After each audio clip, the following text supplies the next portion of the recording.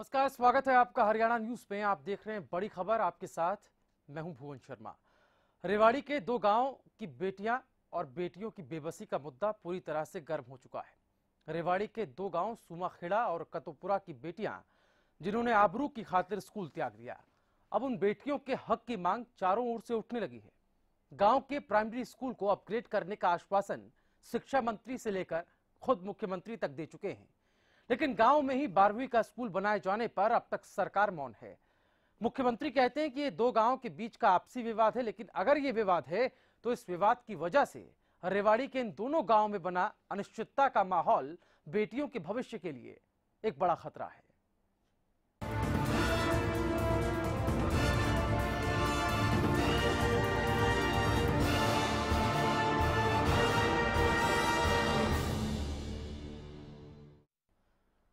हड़ताल पर बैठी बेटियाँ न सिर्फ़ बारहवीं तक हिस्से का स्कूल चाहती हैं बल्कि सुरक्षा का माहौल भी चाहती हैं। ये बेटियाँ शिक्षा का स्वराज चाहती हैं और उसके लिए ये मुख्यमंत्री से लेकर प्रधानमंत्री तक से हाथ जोड़कर विनती करती आ रही हैं।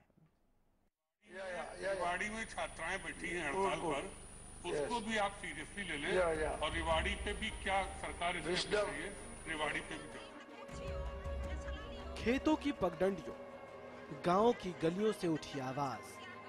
राज्यसभा तक पहुँच गई। तो रिवाड़ी या, या, या, में रिवाड़ी में छात्राएँ बैठी हैं हड़ताल पर। उसको भी आप सीरियसली ले लें। हरियाणा के दो गाँव सुमोखेड़ा और कतोपुरी सुर्खियों में हैं। लेकिन समस्या का समाधान अब तक नहीं हुआ। दोनों गाँव की पंचायत हड़ताल पर चली गई।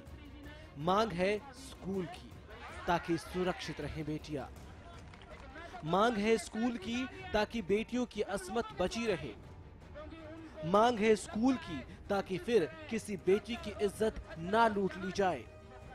तो हमारा स्कूल यहीं, प्लस टू तक यहीं करना चाहते हैं जी। चाहे हमें भूख हड़ताल करनी पड़े, चाहे हमें धरना धरना पड़े, हम अपनी मांग से हटेंगे नहीं बिल्कुल भी। हमारे, हमें अपनी लड़कियों की इज़्ज़त प्यारी है, न कि पढ़ाई पढ़ाई अनपढ़ रहे तो रहे। प्रदेश के शिक्षा मंत्री ने आश्वासन दे दिया। स्कूल अपग्रेड कर दिया जाएगा। लेकिन गाँव के लोगों की मांग है कि स्कूल का अपग्रेडेशन बारहवीं तक के लिए कर दिया जाए। फैसला हुआ है, मिडिल तक का ये गलत हुआ है। हम जो है इसको मानने के लिए तैयार नहीं हमारी जो बच्चे हैं, इसकी प्रॉब्लम इनकी प्रॉब्लम तो आठवीं से ऊपर ही शुरू होती है। ये आठवीं तक करके कोई अच्छा काम नहीं किया है। इसलिए हम चाह रहे हैं कि ये अगर जल्दी जल्दी टेंथ तक स्कूल तक हो जाता है, ठीक है, वरना एक दो दिन में हम इस प्राइमरी स्कूल को बंद हम लोग कहना चाहो लड़कियाँ पढ़ावांगा पर मार बालका की सुरक्षा को अरे हमने बारह तक को स्कूल चाहिए, नहीं हम अपनी लड़कियाँ अनपढ़ रखांगे, ना हमारी ना सुनाएगा तो गवर्नमेंट दरअसल ये सारा बवाल शुरू हुआ एक रेप की घटना के साथ। 18 अप्रैल को नौवीं क्लास की एक छात्रा का अपहरण किया गया। उस छात्रा के साथ लाला गाँव के एक शख्स ने रेप किया। दो अन्य लोगों ने इस वारदात में आरोपी का साथ दिया। वारदात के की छात्राओं ने स्कूल जाना बंद कर दिया। 21 अप्रैल को सुमाखेड़ा और कतोपुरी के ग्रामीणों ने पंचायत कर लाला गाँव का सामाजिक बहिष्कार किया। तीन दिन बाद स्कूल से लौट रही एक छात्रा के साथ फिर अश्लील हरकतें हुई। नहर पर नहा रहे युवकों ने छात्रा के सामने ही कपड़े उतार दिए। लगातार बढ़ रही अश्लील हरकतों से गुस्साए दोनों गाँवों के लोग तीन मई को डीसी से मिले। ग्रामीणों ने डीसी से कहा, जब तक गाँव में अलग स्कूल नहीं बनेगा, वो अपनी बेटियों को पढ़ने नहीं भेजेंगे। सुमाखेड़ा में सिर्फ़ प्राइमरी स्कूल है। आगे की पढ़ाई के लिए बच्चों को लाला गाँव के स्कूल भेजना पड़ता है। शिक्षा मंत्री ने स्कूल को मिडिल स्कूल तक अपग्रेड करने के आदेश दे दिए। लेकिन दोनों ही गाँव के लोग खौफ में हैं। मांग बड़ी ही सीधी है। इज़्ज़त की सुरक्षा की मांग बेटियों के मान सम्मान की मांग और इन सब के लिए मांग बारहवीं तक के स्कूल की। Bureau report Haryana news. तो उधर बेटियों की बेबसी देखिए कि गाँव की बुज़ुर्ग महिलाओं के भीतर किस हद तक खौफ है। बेटियों को अनपढ़ रखने को तैयार हैं लेकिन खतरे के बीच स्कूल भेजने के नाम से भी इनकी रूह कांपने लगती है। छोटी बच्चियों के लिए हमें दिक्कत ही नहीं थी। हमें तो नौवीं दसवीं और ग्यारहवीं बारहवीं को बच्चियों को पढ़ाने की दिक्कत है। हम क्या करेंगे आठवीं तक का स्कूल फिर ये पांचवीं तक का भी बंद कर देंगे हम। हम लोग कहना चाहो लड़कियों ने पढ़ावांगा पर मार बालका की सुरक्षा को न्या और हमने बारह तक को स्कूल चाहिए नहीं हम अपनी लड़कियाँ अनपढ़ रखांगे ना हमारी ना सुनाएगा तो गवर्नमेंट मेरा ये सीएम साहब और पीएम साहब से ये प्रार्थना है कि हमारे वहाँ लड़की हम भेजना भेजना नहीं चाहते हमारे लड़कियों के साथ दुराचार हो रहा है। हम क्यों भेजे वहाँ लड़कियों को? हमारा स्कूल यहीं प्लस टू तक यहीं करना चाहते हैं जी। तो वहाँ की बच्चियाँ जो हैं जो स्कूल जाने वाली हैं जिन्होंने अब स्कूल जाना छोड़ दिया है उनका क्या कुछ कहना है? ये आपको सुनाते हैं। मंत्री से निवेदन है कि हमारे स्कूल को अप अपग्रेड करवाया जाए। जैसे श्री कृष्ण भगवान ने द्रौपदी जी की लाज बचाई थी हमारी भी कोई लाज बचाए। हम लाला स्कूल में बिल्कुल भी नहीं जाएँगे, क्योंकि हमारे आगे रास्ते में आकर बाइक आड़ा देते हैं आगे, क्योंकि हमें वो, हमें बैठा फुसला कर और हमें बाइकों पर बैठा लेते हैं। हमारे साथ बीजेपी की नेता सुनीता दुग्गल जी इस वक्त फ़ोन लाइन पे है, साथ ही साथ अमित तेहरा पॉलिटिकल एक्सपर्ट इस वक्त स्टूडियो में है। सुनीता जी, ये जो रेवाड़ी का मामला है दो गाँव का, ये मामला जो है आज सदन में भी इसकी गूंज देखी हमने, सपा के सांसद जो है नरेश अग्रवाल, उन्होंने इस मामले को उठाया है और केंद्रीय मानव संसाधन मंत्री स्मृति ईरानी से उन्होंने इस पर बयान देने को कहा है। ये सरकार की चुप्पी, चूँकि ये मैटर इसलिए अहम है कि खुद प्रधानमंत्री नरेंद्र मोदी हरियाणा में आकर बेटी बचाओ, बेटी पढ़ाओ की बात करते हैं और उनकी इस पूरे मुद्दे पर खामोशी रहती है। 18 अप्रैल उस घटना को हो गया, जिसके कारण ये एक तरीके से स्कूल जाना इन लड़कियों ने छोड़ दिया है। चलिए, लगता संपर्क टूट गया है। लेकिन अमित नेहरा जी, इस पूरे मामले पर, चूँकि अब ये सदन तक इसकी गूंज पहुँची है, और प्रधानमंत्री जैसा कि मैंने अभी कहा कि सीधे तौर पर वो बेटियों को बचाने और पढ़ाने की वही बात कर रहे थे हरियाणा में आकर, और इस तरह का एक मामला सामने आ जाए जिसमें सरकार हरियाणा की ऐसा नहीं कहेंगे कि सक्रिय नहीं हुई, उन्होंने ऑप्शंस निकालने की बात की, आठवीं तक अपग्रेड करने की बात की, निजी स्कूलों में दाखिला देने की बात की, सब चीज़ों को जो है ग्रामीणों ने ठुकरा दिया है। और उनकी एक ही मांग है कि सुरक्षा का एक माहौल पैदा किया जाए और स्कूल गाँव के भीतर ही एक बारहवीं का स्कूल जो है वो बनाया जाए। देखिए भुवन कई एस्पेक्ट हैं इस खबर के इस घटना के। अ, सबसे पहले तो मैं यही कहूँगा कि बहू बेटियों की इज़्ज़त सुरक्षित रहनी चाहिए। चाहे कतौपुर की हो चाहे लाला की हो चाहे सुमाखेड़ा की हो कहीं की भी हरियाणा के नहीं पूरे विश्व के।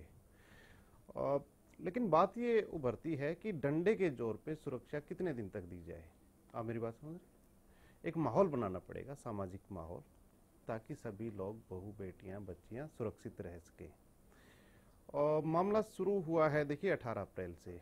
और 18 अप्रैल से आज 6 मई आ गई। सरकार उदासीन बनी रही काफ़ी हद तक। तो एक्शन उसी दिन हो जाता, जिस दिन आवाज़ उठी थी। तो मामला इतना आगे बढ़ता ही नहीं। ठीक है ना?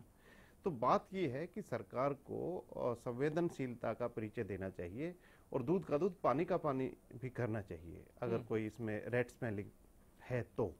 और ऐसी शिकायतें कोई ऐसा नहीं कि ये घटना रेप की हुई और उसी के बाद ये उठा। वहाँ की जो और भी छात्राएँ हैं नौवीं दसवीं ग्यारहवीं बारहवीं तक की छात्राएँ जिनके साथ अक्सर रोज जो है उनको उनको फप्तियाँ कसी जाती थी। हमारे साथ एक बार फिर से सुनीता दुग्गल जी फ़ोन लाइन पर जुड़ गई हैं। सुनीता जी मेरी आवाज़ सुन पा रही हैं आप? जी जी।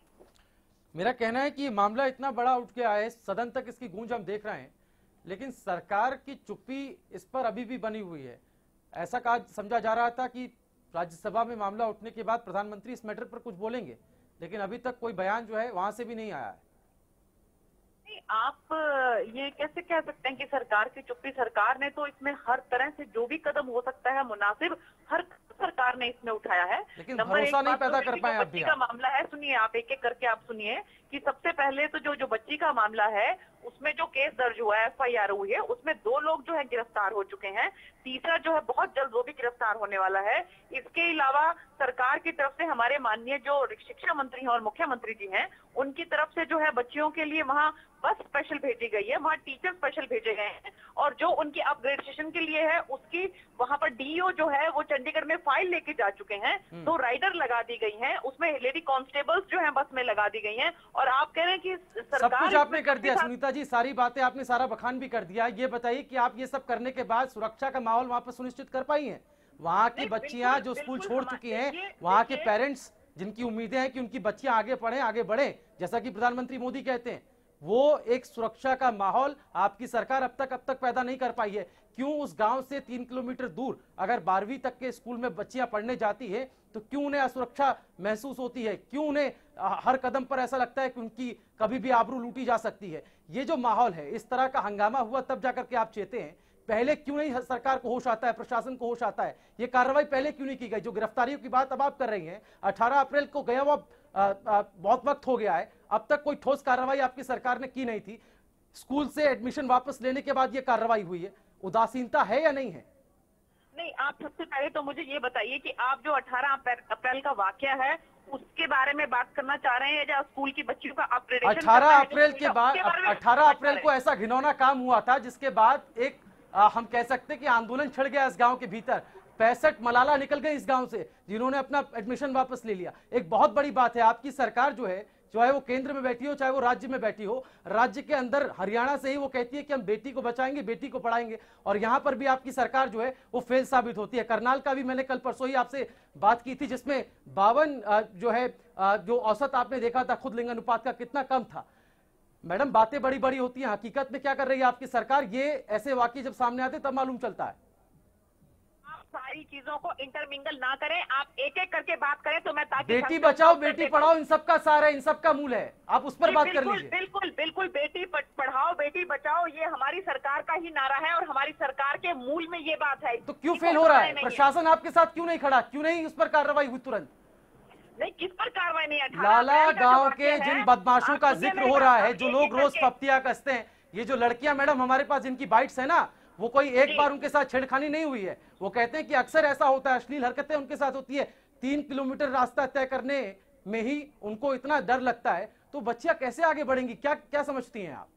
बिल्कुल आप मेरी बात सुनिए। आप ये बताइए कि सबसे पहले तो मैं ये पूछना चाहती हूँ कि अभी तक कितनी हमारी बच्चियाँ जो हैं वो अब इतनी नीडर उनको होना चाहिए कि मुझे बताएँ कि कितनी बच्चियों ने अभी तक एफआईआर दर्ज करवाई है किसी भी लड़के के खिलाफ। मुझे एक भी एफआईआर है। बताइए ताकि ताकि हम ये सोच सके कि एफआईआर हुई थी, भी उनके मैंने आपसे शुरुआत मैंने आपसे शुरुआत सुरक्षा के माहौल को लेकर की थी। अब आप कह रही हैं कि बेटियाँ क्यों नहीं एफआईआर कराने आगे आ रही हैं?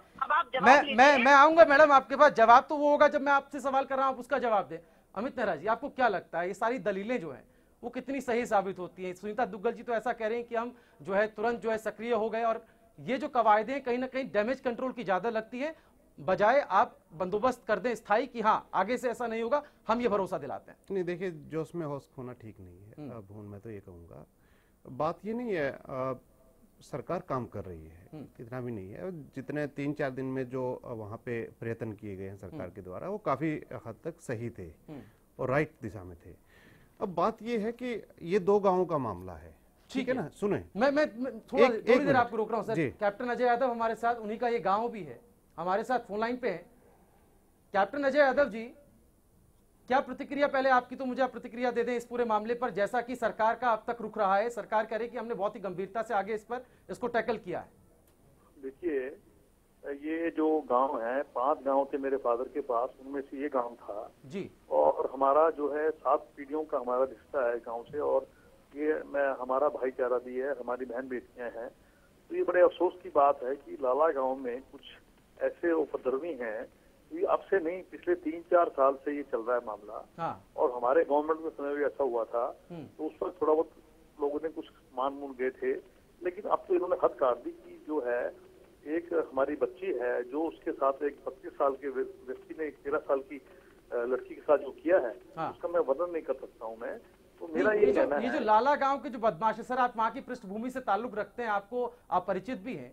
ये जो बदमाश है क्या राजनीतिक आश्रय इनको मिला हुआ? क्या किस तरह के लोग हैं इन पर कार्रवाई नहीं होती? ऐसा जी एक मंत्री है उसकी ज़िम्मेदारी है उस गाँव में।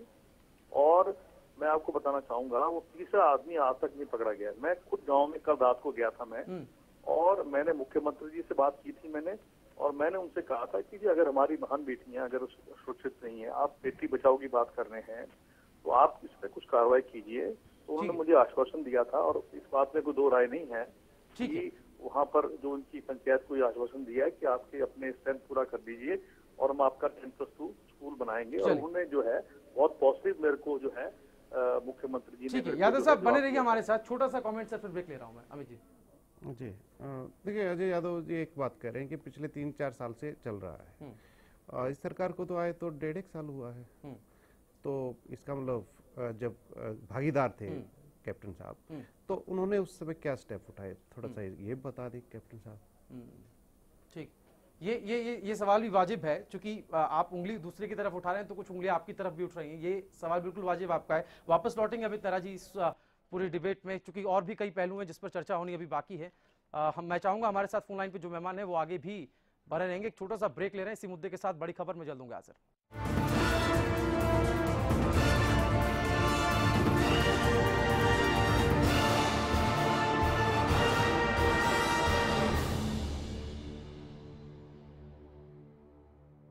श्री गोविंद घर जैसा घी हो खाना श्री गोविंद ही ले आना श्री गोविंद।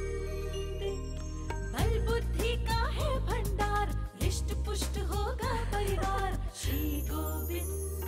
श्री गोविंद एगमार्क, शुद्ध देसी घी। Shekhawati public school, Dundlod. को educational English medium residential cum day school affiliated to CBSE world class infrastructure experience faculty sports and cultural activity and top class hostel facility for boys and girls admission open contact Shekhawati public school Dundlod and visit our website खेतों में खुशहाली लाए। बोपार आए बोपार आए घर घर पानी पहुँचाए। बोपार आए बोपार आए सालों साल चलता ही जाए। बोपार आए बोपार आए कम वोल्टेज में भी मोटर स्टार्ट करे बे आवाज़ सालों साल चलने वाला Boparai motor starter.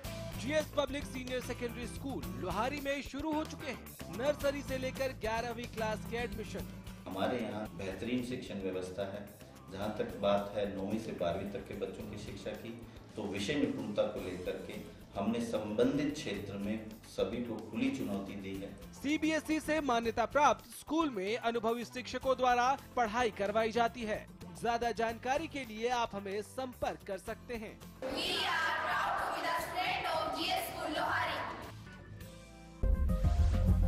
बालों की समस्या से क्यों हो परेशान? बच्चा खाए या जवान? सबका इलाज होगा एक समान। सिर दर्द और कब्ज होंगे तीन दिन में छूमंतर न जादू, न टोना। है केवल आयुर्वेदिक तंत्र। नाड़ी वैद्य मैं, आयुर्वेद का कमाल देखना। ला इलाज हो, कोई भी बीमारी, जड़ से होगा, उसका इलाज देखना। कमजोरों के लिए बना दिया है ऐसा रसायन। खाकर उसको जीवन का आनंद देखना। देखिए कायाकल्प। Always you taking me through. I say the same old thing with you by my side. ये क्या हो रहा है? अगर कपड़े मैंने ही गंदे किए तो मैं ही धोऊँगा ना। मेरी वजह से आपकी सॉफ्ट सॉफ्ट क्यों खराब हो? वेल मिस्टर खुददार कपड़े तो साफ़ हो गए और आपकी सॉफ्ट सॉफ्ट हाथ अभी भी सॉफ्ट है? मैं भी ना यूँ ही टेंशन लेता हूँ। लो इसे भी आप साफ़ कर दो। कपड़े कलर्ड हो या वाइट स्टेन्स की छुट्टी पक्की। कपड़े और हाथ वुश करे खुश। श्री गोविंद घर जैसा घी हो खाना। श्री गोविंद ही ले आना। श्री गोविंद रिष्ट पुष्ट होगा परिवार। श्री गोविंद। श्री गोविंद एगमार्क शुद्ध देसी घी। स्वस्थ रहने के लिए मैं विश्वास करती हूँ योगा पर। बालों को स्वस्थ रखने के लिए मैं विश्वास करती हूँ। सिर्फ़ आस्था हेयर ऑयल पर जो बालों की जड़ तक जाकर उन्हें मज़बूत बनाता है। टूटने झड़ने और असमय सफ़ेद होने से रोकता है। इसीलिए तो मेरे बाल रहते हैं मुलायम लंबे सुंदर और घने। हमेशा। आस्था हेयर ऑयल बालों की संजीवनी। शेखावटी डिफेंस एकेडमी डूनलोड राजस्थान जहाँ कराई जाती है school plus degree plus defence की तैयारी। राजस्थान के सर्वश्रेष्ठ रिटायर्ड सैन्य अधिकारियों द्वारा प्रवेश प्रारंभ। कुछ लोग अपनी गलतियों से सीखते हैं लेकिन समझदार लोग दूसरों की गलतियों से ही सीख लेते हैं। बेरोजगारों ने आखिर क्या गलती की? इन गलतियों से आप बचें।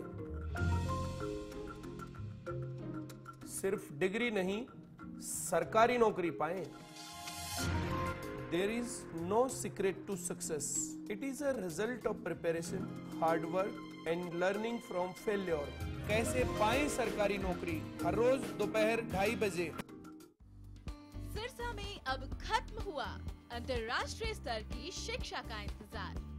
एमडीएलआर ग्रुप लेकर आए हैं M D K international school Haryana के हरित क्षेत्र सिरसा में विश्व स्तरीय शिक्षा की खास पहचान। M D K international school Cambridge university London से जुड़े सिरसा के इस पहले residential cum day boarding school के डायरेक्टर हैं कैम्ब्रिज एग्ज़ाम्स के आकलन करता मिस्टर लॉरेंस फ्रे विश्व स्तरीय शिक्षा के साथ एमडीके स्कूल में है एयर कंडीशन कैंपस दूसरी आधुनिक ज़रूरी सुविधाएँ, पुस्तकों से परिपूर्ण लाइब्रेरी और एक स्पेशियस कैफेटेरिया जिसमें बच्चों के लिए मिलेगा हेल्दी खाना।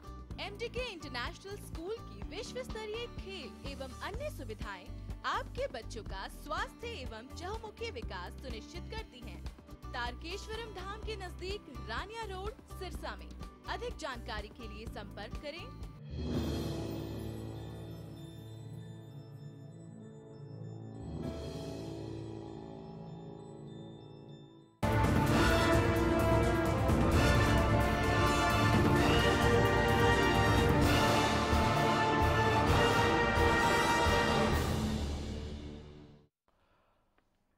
ब्रेक के बाद एक बार फिर से आपका स्वागत है। बड़ी खबर में आइए सबसे पहले आपको सुनाते हैं कि प्रदेश के शिक्षा मंत्री रामविलास शर्मा ने रेवाड़ी के मामले को लेकर समाधान की दिशा में कौन सी क्या बात कही और उसके बाद इस पर वहाँ की लड़कियों की क्या प्रतिक्रिया है?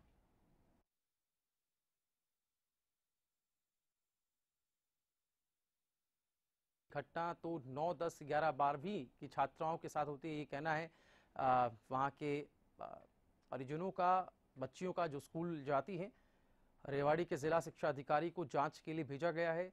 गाँव में ही बारहवीं तक का स्कूल हो नहीं तो पढ़ने नहीं जाएँगे ये कहना है बेटियों का। रेवाड़ी के जिला शिक्षा अधिकारी आ, को जाँच के लिए आ, सरकार की तरफ़ से भेज दिया गया है।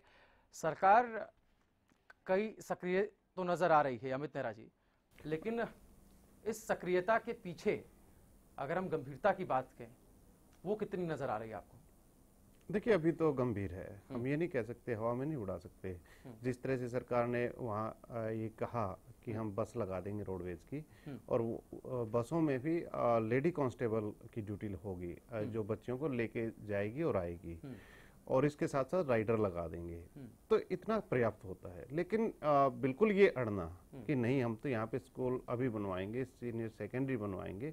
उसमें देखिए प्रक्रियागत समय होता है वो लगता है। ये नहीं होते हथेली पे राई उगा दी सरसों उगा दी आ, इसका दूसरा एस्पेक्ट ये लगता है कि हो सकता है कहीं ना कहीं आ, ये आ, इसका मोटिव दूसरा हो सारे मामले का। आप मेरी बात समझ रहे हैं? बिल्कुल सीधा ना कह के सबसे बड़ी बात यह है कि सामाजिक समरसता बनाए रखना। जो जो इस मामले को जितना ज़्यादा उठाया जाएगा वहाँ आपसी कटुता बढ़ेगी। और सबसे बड़ी बात यह है देखिए ये दो गाँवों का मामला है भुवन जी। लेकिन हरियाणा में बहुत से ऐसे गाँव हैं जिनका दायरा ये दो ढाई किलोमीटर होता है अकेले एक गाँव का। और अगर उसमें कोई रेप वगैरह की घटना हो जाती किसी बच्ची के साथ गाँव वाला ही कर दे। और कोई बच्ची ये कहने लग जाए कि मेरे घर से हमारे गाँव का स्कूल दो किलोमीटर है मैं तो स्कूल में नहीं जाऊँगी क्योंकि रास्ते में डर है मुझे। तो क्या उस घर को आ, स्कूल में शिफ्ट किया जाएगा या स्कूल को घर तक लेके आया जाएगा? देखिए ये कई चीज़ें हैं। हाँ। आ, सरकार ने वहाँ पे माहौल बनाने का प्रयत्न किया है तो ग्रामीणों को भी सरकार का साथ देना चाहिए। और यहाँ पे एक छोटा सा ज़िक्र मैं ये भी करूँगा अमित जी चूँकि हम देखते हैं गाँव की अगर हम बात करें तो वहाँ पर पंचायत की एक व्यवस्था है। बिल्कुल। अक्सर हरियाणा में तो ये ज़्यादा ही सक्रिय हैं। कोई भी ऐसे सोशल मैटर्स होते हैं तो उसको पंचायत लेवल पे उसका निपटारा भी होता है। और आपको क्या लगता है लाला गाँव की जो एक इमेज इस पूरे मामले के बाद बन के सामने आई है वहाँ पर कोई इस तरह का कोई सक्रियता या वहाँ से कोई ठोस कदम जो है उठाता हुआ कोई नज़र नहीं आया? देखिए भुवन जो पंचायत होती है वो एक गाँव के लिए होती है। हम्म। जब दो तीन गाँव का मामला होता है तो वहाँ पे खाप पंचायतें सरो सरो खाप जिसको हाँ। बोलते हैं हम्म। वो फैसला करती हैं। ये अ, अभी सिलसिला शुरू नहीं हुआ है वहाँ पे सरोखाप पंचायत हो देखिए बहुत बड़ी बड़ी बात है जो कत्ल तक के मामले हैं खापों में वो भी सुलझे हैं हाँ। कोर्ट में जहाँ पे दोनों पक्ष राज़ी नहीं होते। खापों ने उनको सुलझाया है हाँ। तो इस तरह की जो एक मैकेनिज्म है ये ठीक है तो इसका प्रयोग किया जाना चाहिए चलिए बेहद शुक्रिया अमित नेहरा जी आपका इस पूरी तमाम चर्चा के लिए चूँकि अमित नेहरा भी हरियाणा की पृष्ठभूमि से ही हैं लिहाजा उन्होंने यहाँ की पृष्ठभूमि से जोड़कर इस मामले को देखा है, बेहतर तरीके से। वो बता भी रहे थे कि कैसे जो है वो सोशली इस मैटर को देखा जाना चाहिए और इस पर सरकार जो सक्रिय नज़र आ रही है, उसमें उसकी गंभीरता भी झलक रही है। फ़िलहाल बड़ी खबर में इतना ही। दीजिए इजाज़त। नमस्कार।